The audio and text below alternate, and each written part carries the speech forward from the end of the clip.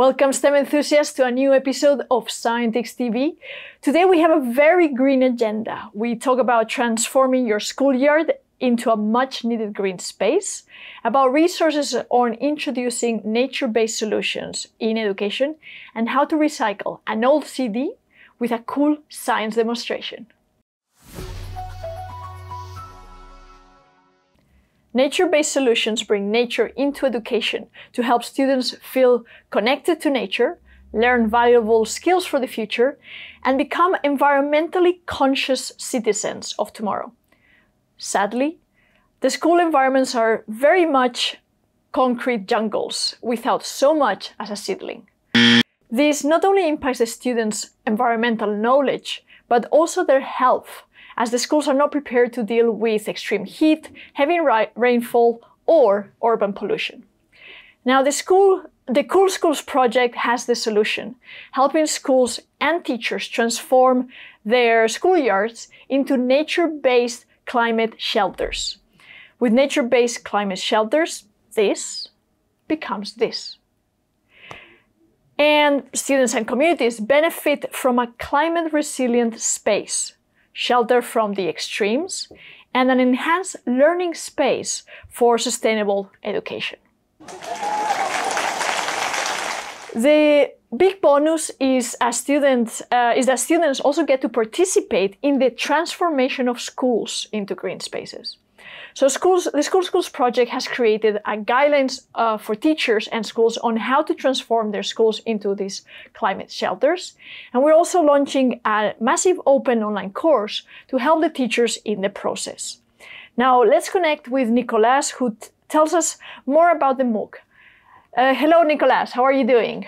Hey Agatha, you're absolutely right. Cool Schools Guidelines is a great resource for those who want to transform their schoolyard into a nature-based climate shelter. They were designed in order to help school leaders, teachers, and the greater school community understand what they need to do in order to coordinate this kind of transformation. Based on implementation stories in four case study cities, these guidelines include a wide range of recommendations, ways to tackle common problems, and advice on how to use these nature-based climate shelters for educational purposes. And that's exactly where our MOOC comes in. For those interested in knowing how to create a nature-based climate shelter, this MOOC is just for you. It is tailored for educators interested in student-centered approaches, climate change adaptation, and it includes a lot of opportunities for participants to collaborate, design action plans, and promote innovative classroom strategies. In this MOOC, you will understand more about nature-based climate shelters, implement and design greening activities, and learn about more ways about how you can bring your students closer to a more sustainable future. The best part, there are two live events for you. So don't miss your chance. Register in our MOOC as soon as possible.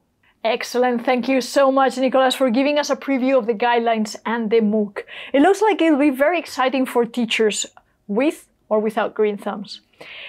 Registrations for the MOOC are open and the course, course runs for five and a half weeks. Uh, so we look forward to seeing you there.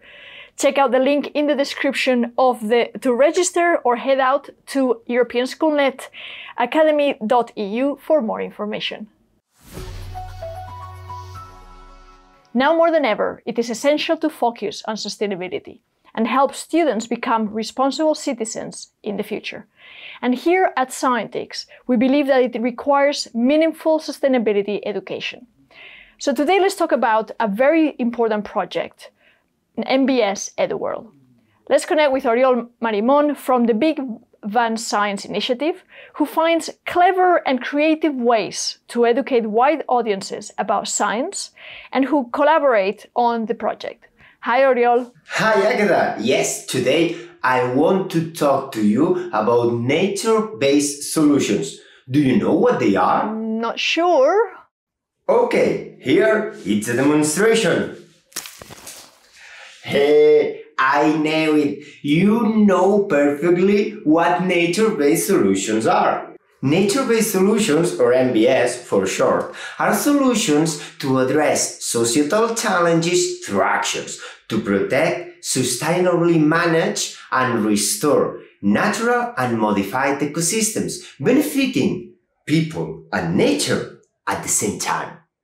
They target major challenges like climate change, disaster risk reduction, food and water security, biodiversity loss, or human health, and are critical to sustainable development. So it's really about using the cleverness of nature to protect our society from the impacts of climate change, right? Exactly!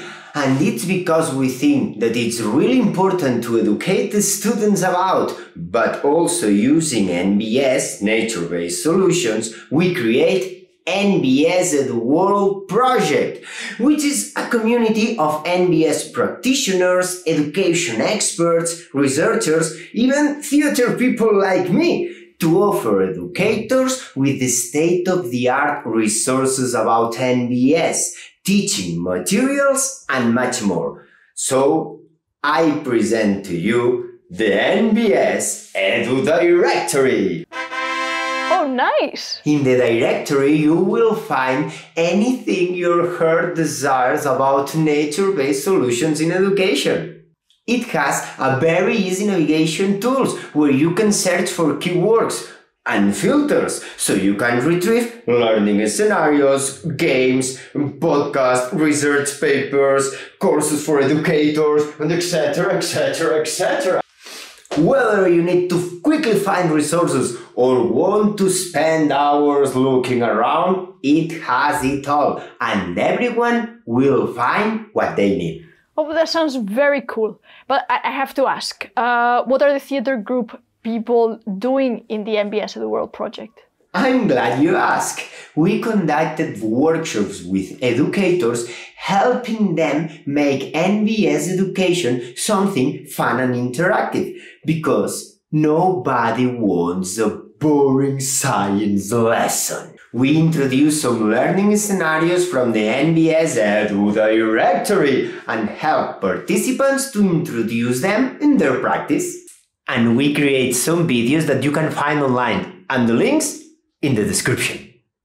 Well, thank you very much, Oriol, for connecting with us. It sounds like the NBS Edu repository is the one-stop shop for all things NBS education. So I don't know about you, but I have a lot of things lying around the house that are from what seems like ages ago. And one of the things is CDs. Uh, so in the spirit of not letting anything go to waste, uh, we wonder what could we do with them. So it turns out they can be very useful for learning. Now let's connect with Guillermo, who will show us how can you use an old CD for an easy and fun STEM lesson. Hi, Guillermo. Hello, Ageda. Yes, we can use many of the things that we have at home. And today we are going to learn how to build our own hovercraft with things that we have at home. So, what do we need? We just need a balloon, a compact disc, also known as CD, and also this thing to prevent the liquid from coming out of a plastic bottle, for example, and something to attach the nozzle to the hole in the middle of the CD. In our case, we are going to use a hot glue gun, but you can also use some tape. So the procedure, it is really easy. We just have to take the nozzle and attach it to the hole in the center of the CD with the hot glue gun in our case.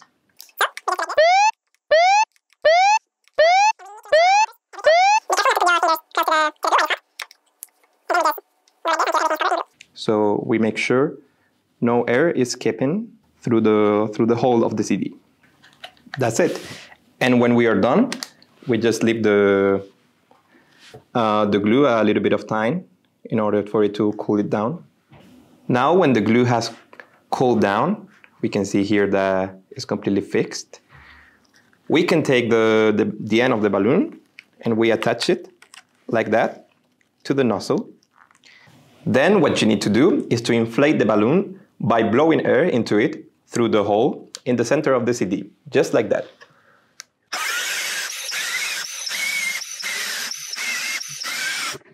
And when you're finished, you have to make sure the air doesn't escape from the balloon by pinching with your fingers uh, in here, just like that. And then we watch science works its magic.